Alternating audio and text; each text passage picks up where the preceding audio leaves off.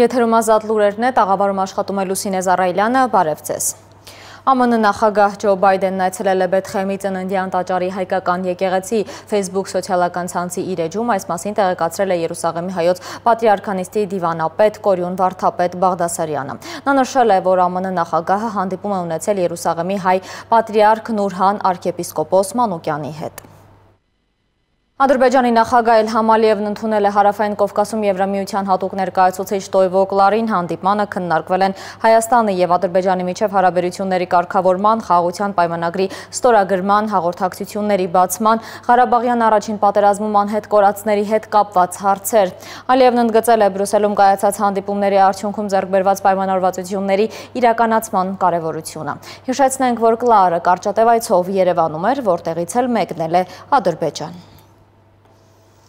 ԱՄՆ ներկայացուցիչների պալատն ընդունել է 2023 թվականի բյուջետային տարում ազգային անվտանգության հատկացումների ակտին ներկայացված եւս 3 հայամետ լրացում։ Այդ լրացումներից մեկով կոչ է արվում Ադրբեջանի կառավարությանն անհապաղ ազատ արձակել հայ ռազմագերիներին։ Հաջորդ լրացմամբ պահանջվում է, որպեսզի ներկայացվելիք զեկույցում տեղեկություն լինի այն մասին, թե Ադրբեջանին ցուցաբերած ամերիկյան աջակցությունը արդյոք չի վնասել խաղաղության գործընթացին Արցախում, նաև տրվի գնահատական հրադադարից մինչև օրս Ադրբեջանի կողմից Հայաստանի դեմ հարցակվողական ուժի կիրառման կամ Հայաստանի ինքնիշխան տարածքի ոտնահարման վերաբերյալ։ Ներկայացուցիչների պալատն ընդունել է եւս մեկ լրացում, որով կոչ է արվում սահմանափակել ամերիկյան ռազմական F-16 կործանիչների ու դրանց արդիականացման սարքավորումների վաճառքը Թուրքիային։ Բացի այդ զեկույցում պետք է ներկայացվեն Ադրբեջանի կողմից Արցախի դեմ արգելված զինատեսակների կիրառման, պատերազմում Թուրքիայի եւ Ադրբեջանի կողմից օտարերկրյա ահաբեկիչ վարձկանների ներգրավման մասին տեղեկատվություն։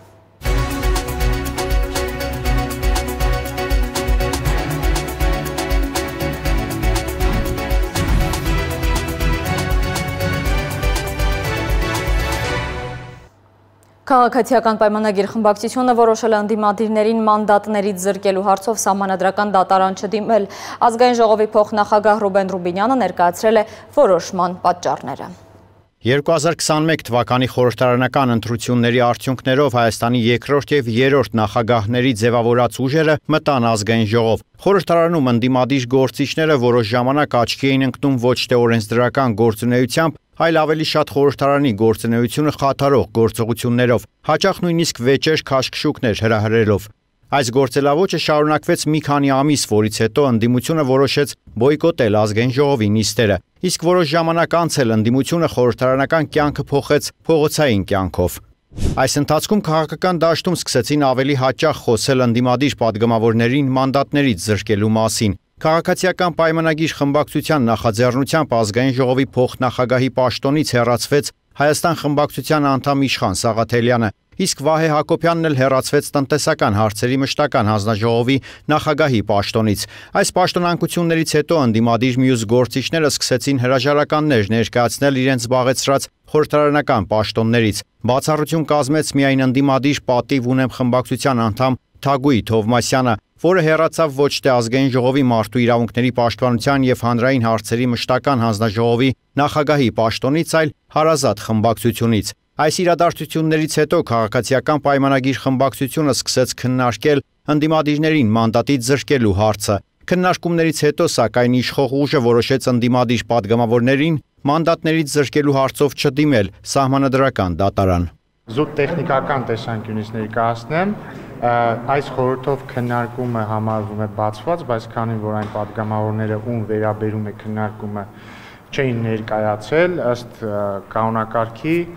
քննարկումը տեղափոխվում է մեկ շաբաթ անց, բայց սա զուտ տեխնիկական մասն է, որը մեծ հաշվով այդքան էլ կարևոր չէ։ Ինչ վերաբերում է քաղաքացիական պայմանագիր խմբակցության որոշումը, որոշումը հետևյալն է, որ նշյալ падգամավորներին մանդատից զրկելու վերաբերյալ ՍԴ միջնորդությամբ չենք դիմելու։ Ազգային ժողովի փոխնախագահի խոսքով սահմանադրական դատարան չդիմելու մի քանի պատճառ կա։ Մենք հարգում ենք ժողովրդի բոլոր ներկայացուցիչների ամբողջ ժողովրդի տրված քվեն եւ հիշեցնում եմ, որ ժողովուրդը իր քվեով ձևավորել է մեծամասնություն եւ փոքրամասնություն։ Եվ մենք հարգում ենք այդ քվեն եւ կարծում ենք, որ ընդդիմության այս պահելաձևը եւ վարվելակերպը եւ փիլիսոփայությունը առաջին հերթին հենց իրենց ընտրողների համար պետք է խնդիր լինի եւ կարծում եմ մեր ժողովրդի այն հատվածը, որը քվե է տվել իրենց, համապատասխան հետևություններ կանի հաջորդ ընտրությունների ընթացքում Սահմանադրական դատարան չդիմելու երկրորդ պատճառը երկրում կայունություն եւ համերաշխություն պահպանելն է։ Բացի այդ, ըստ Ռուբինյանի, մանդատներից զրկելը նիստերը բոյկոտող եւ փողոցային պայքարը տապալած ընդդիմության համար փրկողակ կլիներ։ Մենք կարծում ենք, որ եթե ընդդիմությանը թվում է, որ մենք պիտի դիմենք սահմանադրական դատարան եւ նրանց փախուստի փրկողակ նետենք ազգային ժողովից, նրանք սխալվում են, նրանք պետք է գլուխները կախ կան ազգային ժողով, իրենք պիտի նայեն մեր աչքերի մեջ եւ չկարողանան կրկնել այն, ինչ այս ամիսներին ասել են փողոցներում եւ ոչ միայն փողոցներում, մենք էլ պիտի նայենք իրենց աչքերին եւ ասենք այն ամենը, ինչ ուզեցել ենք ասենք, ուզում ենք ասենք եւ ասել ենք։ Ազգային ժողովի փոխնախագահը նշեց նաև, որ եթե հաջորդ նստաշրջանում եւս ընդդիմադիրները չգան խորհրդարան, ապա կրկին առաջ կգա նրանց բացակայությունների հիմքով սահմանադրական դատարան դիմել չդիմելու հարցը, եւ չի բացառվում, որ իշխող ուժը վերանայի իր այսօրվա դիրքորոշումը։ Մկրտիչ Իսրայելյան Free News ազատ լուրեր։ Կանխվել է խոշոր չափի թմրամիջոցի արտահանման փորձ Ավստրալիա Իրանից ստացված փոստային ծանրոցից հայտնաբերվել է 2.5 կիլոգրամ ափիոն մանրամասները տեսանյութում։ Պետական եկամուտների կոմիտեի մաքսանենգության դեմ պայքարի վարչությունը շարունակում է անզիջում պայքարը թմրամիջոցների եւ հոգեմետ նյութերի Հայաստանի Հանրապետության սահմանով անօրինական տեղափոխման ուղղությամբ։ Օրերս Հայփոստ ընկերության փոստի փոխանակման կենտրոնի մաքսային հսկողության գոտում Բեկ մաքսանենգության դեմ պայքարի վարչության եւ արևմտյան մաքսատուն վարչության աշխատակիցները ազգային անվտանգության ծառայության աշխատակիցների հետ համատեղ մաքսային զնման են ենթարկել Հայաստանի Հանրապետությունից, Իրանի Իսլամական Հանրապետության քաղաքացու անունից Ավստրալիա արտահանվող միջազգային փոստային առաքանին։ Զնման արդյունքում հիշալ առաքանիում հայտնաբերվել է շուրջ 6 կիլոգրամ ընդհանուր քաշով գունավոր նախշերով թիվ 7 հատանթև բաճկոն։ Այդ բաճկոնների ներքին մասերում արկա սպունգանման զանգվածները ներծծված են եղել ափիոն տեսակի թմրամիջոցի շագանակագույն փոշենման զանգվածներով, որոնց փաստացի քաշը կազմել է շուրջ 2.5 կիլոգրամ։ Փաստի արդիվ Հայաստանի Հանրապետության քրեական օրենսգրքի 267.1 հոդվածով նախատեսված հանցագործության հատկանիշներով պետական եկամուտների կոմիտեի մաքսանենգության դեմ պայքարի վարչության աշխատակիցների կողմից նախապատրաստվել են նյութեր, որոնք հայտնաբերված թմրամիջոցի զանգվածների հետ միասին տրամադրվել են Բեկ հետաքնության եւ օպերատիվ հետախուզության վարչություն։ Պետական եկամուտների կոմիտեի տեղեկատվության եւ հասարակայնության հետ կապերի բաժին Հայաստանի ուսումնական համակարգում արկա իրավիճակն աղետալի է, այսպես են գնահատում մասնագետները ոլորտում վերջին տարիներին առաջացած խնդիրների հետևանքները։ Նրանք այսօր բարձրաձայնել են կրթական հաստատություններում ուսուցիչների տարեց տարի պակասող թվի այդ ֆոնին արկա միջինից ցածր աշխատավարձի ու դրանից բխող կրթական աղետի մասին։ Հայաստանի դպրոցներում ուսուցիչների թիվը նվազել է մոտ 900-ով, իսկ աշխատող ուսուցիչների 12%-ը 65-ից բարձր տարիք ունի։ Ըստ կրթության փորձագետ Սերոբ Խաչատրյանի այս խնդիրները վերջին տարիներին ոլորտին բավական ուշադրություն չդարձնելու հետևանք են։ Այսօր օրինակ հասարակությունը իմանում է, որ վարորդի աշխատավարձը արդեն հասել է 350 հազար դրամի, իսկ ուսուցչի աշխատավարձը այդպես ինչ որ մի քանի տարի 1-10% բարձրացվելով դեռևս 108 հազարի ընել հարկերը մեջը սահմանում է այսինքն մենք անտեսեցինք ուսուցիչներին եւ ֆինանսական առումով եւ վերաբերմունքի առումով եւ այս ամենը վերեց նրան որ տարեց տարի նվազեց մանկավարժական բուհեր դիմողների թիվը եւ այսօր մենք ես չեմ վախենա այս բառերը արտաբերելուց աղետալի վիճակում ենք Երևանի մանկավարժական համալսարանի ուսումնական գործընթացների հարցերով պրոռեկտորի խոսքով այս տարի նախորդ տարվա համեմատ դիմորդների թվականակը նվազել է 240-ով, իսկ արկա դիմորդների մեծ մասն էլ նախնական տվյալներով չի հաղթահարել գնահատման նվազագույն շեմը։ Խնդիրը նոր չի առաջացել, դա բնական է տարիների ընթացքում առաջացավ այս բացը եւ մասնավորաբար մանկավարժական համալսարանում մենք ամեն օր, գրեթե ամեն օր անդրադառնում ենք խնդրին, մենք բազմաթիվ առաջարկություններ ունենք եւ արդեն նրանց մի մասը ներկայացրել ենք լիազոր մարմնին եւ լիազոր մարմնի հետ կա այդ նախնական քննարկումները, որ այդ առաջարկությունները փորձենք իրագործել, որpիսի բացը լրացվի։ Մասնավորաբար առաջարկությունների մեջ են մտնում նախկինում կրկնակի մասնագիտացումներ նորից հնարավորություն տալ ուսուցիչը ստանալով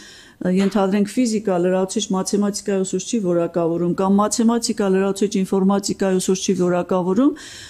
այդ խնդիրը ինչ որ չափով լուծվում էր Ստեղծված իրավիճակում կրթության փորձագետն առաջարկում է բարձրագույն կրթություն ունեցող ուսուցիչներին դպրոցներից հեռացնելու գործողությունները հետաձգել եւս մի քանի տարով։ Հաջորդ տարի այդ հերթական հետաձգման ժամկետը կլրանա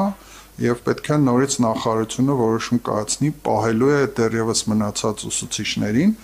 որտեղ այս պահին Հայաստանում դեռևս օրինակ ունենք մոտ 100 ուսուցիչ, որոնք ունեն միջնակարգ կրթություն։ Նաիրա Սաֆարյանը հուսադրող է համարում կառավարության որոշ առարկաներ դասավանդող ուսուցիչների աշխատավարձի բարձրացման ու որոշ համանքային դպրոցներում հավելավճարների մասին որոշումները։ Այդուհանդերձ Խաչատրյանի գնահատմամբ աշխատավարձերի որոշակի բարձրացումները չեն կարող արկա բազմաթիվ խնդիրների լուծում դառնալ։ Որովհետև նույն բնագիտական առարկաների դեպքում արդյոք նախարարության այդ 30000 բարձացումը մրցունակա դարձնելու IT ոլորտի հետ։ Այսինքն եթե ես ուզում եի IT ոլորտ գնալ, հիմա ինֆորմատիկայի ուսուցչի աշխատավարձը 30000-ը բարձացավ, արդյոք ես կասեմ, ինչ լավ է, այլևս չեմ գնա IT, կգնամ ինֆորմատիկայի ուսուցիչ։ Այստեղ նաև նախարարությունն էլ պետքա լավ հաշվարկի այն բարձացումները, որ ինքը անում է, կարող է օգուտ չտան Ըստ մասնագետների ոլորտը կարգավորելու համար առաջնային է նաև արժեհամակարգի վերափոխումը եւ ուսուցչի դերի ու նշանակության վերականգնումը հասարակության շրջանում։ Կրթության, գիտության, մշակույթի եւ սպորտի նախարարության առաջարկով նախատեսվում է տարբեր համույթների միաձուլմամբ ստեղծել նոր պոակ։ Նախագիծն արդեն դրվել է հանրային քննարկման, կառավարության որոշման համաձայն նախագծի ընդունման արդյունքում լրացուցիչ ֆինանսական միջոցների անհրաժեշտություն չի առաջանում եւ պետական բյուջեի ծախսերում ավելացում չի նախատեսվում։ Այդ առնչությամբ լրագրողներին պարզաբանումներ է տվել ԿԳՄՍ նախարարի տեղակալ Արա Խզմալյանը։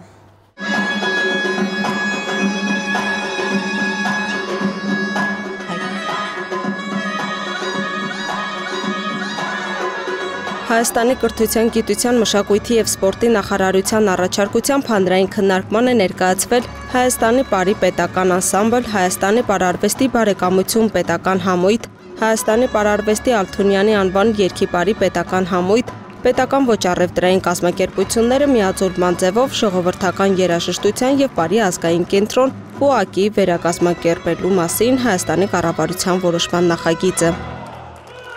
Մենք ուզում ենք այս միավորումով այն ռեսուրսը արդեն իսկ որ կա հատկացված առանձին առանձին եւ մասնագիտական եւ ֆինանսական բերել մեկ դաշտ եւ ներսում արդեն որովհետեւ տնօրենների հետ խոսում եմ ես տեսնում եմ որ մեկի մոտ կա հաստիկ որը իրեն այդքան էլ անհրաժեշտ չէ միջդեռ մյուսի դեպքում դա չափազանց կարեւոր է իր լիարժեք գործունեությունը ծավալելու առումով տեսեք 25 հոկանոց կամ 30 հոկանոց կազմակերպություն ունեն հաշվապահ պետական գնումների մասնագետ ունեն իրավաբան եւ այլ այլն, իսկ ինչու դրանք չմեկտեղ են։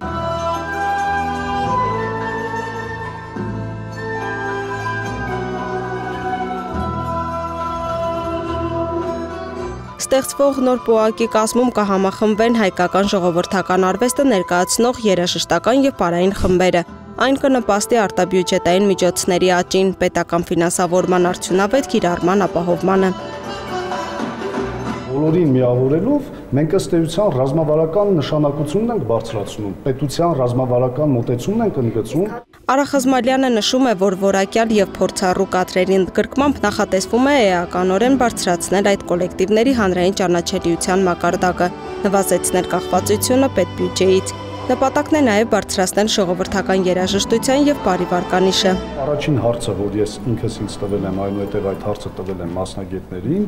մենք խնդիր ունենք ժողովրդական երաժշտությունը եւ բարը մի կառույցում որևէ բովանդակային, մասնագիտական, ժանրային կամ այլ հակասություն կամ խնդիր այս առումով չկա։ Ասեմ ավելին, բազմաթիվ հարգարժան երաժշտագետներ, ոլորտի մասնագետներ ասացին, որ տարիներ շարունակ այս հարցը եղել է մշակույթի նախարարության օրակարգում եւ չի գտնվել ձևաչափը, թե ինչպես կարելի է այս հարցը լուծել։ Եվ եթե այս հարցը լիներ խնդրահարույց, այս հարցը տեսեք արդեն շրջանառում ենք նախագիծը։ Ոլորտը շատ adekvat է ընկալում սա տնօրենները շատ adekvat են ընկալում սա եւ չեն կարող այլ կերպ ընկալել։ Եվ բոլոր այն ընդվզումները, որ ժամանակին եղել են, եղել են այն պատճառով հարցը մինչև վերջ հասունացված եւ բացատրված չի եղել եւ մասնագիտական հիմնավորումները չեն եղել։ Միավորվող պոակների հետ քննարկվել են միաձորման վերակազմավորելու անհրաժեշտությունն ու հնարավորությունները։ Այդ վերակազմավորման արդյունքում հնարավոր կլինի լիարժեք ծավալել միասնական գործունեություն, նպաստելով հայկական ժողովրդական ժանրում միասնական քաղաքականության արդյունավետ կիրարկմանը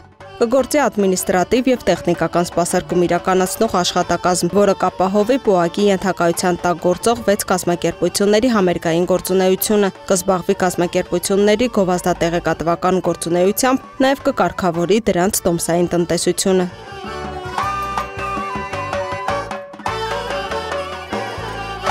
մի հոգին տնորենը եւ այն թիմը, որը նա ձևավորելու է, զբաղվելու է այս կոլեկտիվների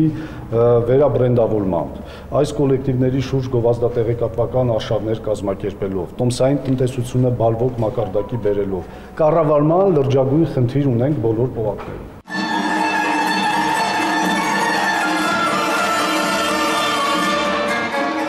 Նորաստեղծ պուակի կազմ կընդգրկվեն նաև ժողովրդական ժանրում մշակութային գործունեություն ծավալող եւս 3 ստեղծագործական խմբեր։ Հայաստանի ազգային նվագարանների նվագախումբը, Հայաստանի կուսանական եւ ժողովրդական երգի պետական համույթը եւ Մարո Մուրադյանի անվան ակունք ազգագրական համույթը։ Մենք ուզում ենք, որ ժողովրդական արվեստը լինի երիտասարդության շրջանում պահանջված ոլորտ։ Մենք ուզում ենք, որ ժողովրդական արվեստը վերականգնի իր հանրային վարկանիշը։ Մենք ուզում ենք, որ պարտությունից հետո ժողովրդական երգը եւ երաժշտությունը հնչի ամեն ուրեք, ամեն պահի, որովհետեւ դրա թերապևտիկ նշանակությունը մենք հասկանում ենք ինչ է։ Մենք մինչև այսօր երբ լսում ենք Կոմիտաս, լսում ենք Հայրիկ Մուրադյանի մշակումները եւ այլն, մեր արյան շրջանառությունը կարգավորվում է ժողովրդական երգից ու պարից։ Մինչև հուլիսի 22-ը քաղաքացիները կարող են նախագծի վերաբերյալ իրենց առաջարկություններն ու դիտողությունները ներկայացնել իրավական ակտերի նախագծերի հրապարակման միասնական կայքում։ Լուսինե Գրիգորյան News ազատ լուրեր Անցնենք միջազգային լուրերին, ԱՄՆ-ն մեղմացրել է Ռուսաստանի դեմ պատժամիջոցները, այդ երկրի ֆինանսների նախարարությունը թույլ է տվել որոշ գործարքներ կատարել Ռուսաստանի հետ։ Խոսքը մասնավորապես պարարտանյութերի, սննդամթերքի, սերմնացուի, դեղերի եւ բժշկական սարքավորումների հետ կապված գործարքների մասին է։ Ենթադրվում է, որ հակառուսական պատժամիջոցները կթուլանան 2022 թվականի աշնանը նախատեսված կոնգրեսի միջանկյալ ընտրություններից հետո։ Դա կարող է տեղի ունենալ, եթե հանրապետականները հաղթեն։ Միջազգային մյուս լուրերը տեսաշարով հարցերով։ Մեծ Բրիտանիայում ավարտվել է կառավարության ղեկավարի ընտրությունների երկրորդ փուլը։ Վարչապետի պաշտոնի 6 տեխնացուներից միայն 5-ն են հաղթահարել։ Ընտրությունների երկրորդ փուլում առաջին տեղը կրկին զբաղեցրել է ֆինանսների նախկին նախարար Ռիշի Սունակը 101 ձայնով։ Երկրորդ եւ երրորդ տեղերում են պաշտպանության նախկին նախարար Փենի Մորդոնը եւ ներկայիս արտգործնախարար Լիզ Թրասը, համապատասխանաբար 83 եւ 64 ձայներով։ Լատվիայի Սեյման ընդունել է էներգետիկայի մասին օրենքում փոփոխություններ կատարելու նախագիծը, ըստ որի 2023 թվականի հունվարի 1-ից արգելք կդրվի Ռուսաստանից բնական գազի մատակարարման վրա։ Բացի դրանից կանոններ են հաստատվել Եվրոպական միության այլ երկրների կարգավորող մարմինների հետ ռուսական գազի ներմուծման արգելքի ապահովման ուղիների համաձայնեցման կոնկրետ դեպքերի համար։ Ռուսական ուժերը հրթիռային հարված են հասցրել Ուկրաինայի կենտրոնում գտնվող Վինիցա քաղաքին։ Ըստ Ուկրաինայի իշխանությունների հրթիռները հարվածել են գրասենյակային համալիրի եւ բազմաբնակարան շենքերի։ Ըստ ուկրաինական կողմի քաղաքացիական բնակչության շրջանում կա առնվազն 20 զոհ, 90 վիրավոր։ Շրի Լանկայի նախագահը հրաժարականի դիմում է գրել էլեկտրոնային փոստով։ Ռաջա Պաքսան կնոջ եւ թիկնապահների հետ լքել է երկիրը եւ այժմ գտնվում է Մալդիվներում։ Թեև ԶԼՄ-ների տեղեկություններով նա պատրաստվում է թռչել Սինգապուր։ Նախագահի երկրից հեռանալուց հետո Շրի Լանկայի սահմանադրության համաձայն նրա լիազորությունները ժամանակավոր հիմունքներով մինչև պետության նոր ղեկավարի ընտրությունը նախ փոխանցվել է վարչապետին, սակայն հետագայում վերապահվել է խորհրդարանի նախագահին։ Սպասվում է, որ Շրի Լանկայի նոր նախագահին խորհրդարանականները կընտրեն հուլիսի հուլիսի 20-ին։ Այսօր մեկնարկում է Միացյալ Նահանգների նախագահի այցը Հորդանան գետի արևմտյան ափ եւ արևելյան Երուսաղեմ։ Ջո Բայդենը կհանդիպի Պաղեստինյան քաղաքացիական հասարակության ներկայացուցիչների հետ, ավելի ուշ Բեթխեհեմում կհանդիպի Պաղեստինի նախագահ Մահմուդ Աբասի հետ։ Նախագահի պաշտոնում մերձավոր արևելյան իր առաջին ուղևորությունը Բայդենը սկսեց Իսրայելից, որտեղ տեղական հերոստանգերությունից մեկի հետ զրույցում հայտարարեց, որ Վաշինգտոնը հավատարիմ է մնում Իրանի միջուկային համաձայնագրի վերականգնմանը։ Այսքանն էինք նախատեսել այս ժամի համար, հետևեք ազատ լուրերի հիմնական թողարկմանը եւս առայժմ։